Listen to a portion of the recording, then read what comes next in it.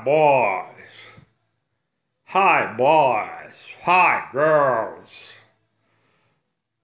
I want to show you to make how to make the bruschetta, the real Italian thing, not the thing that you call bruschetta in America, but it's not bruschetta.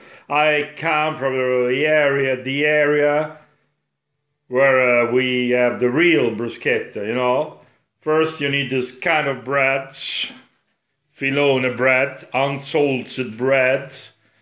That's a tradition that comes from the Middle Ages because actually there was a salt wars.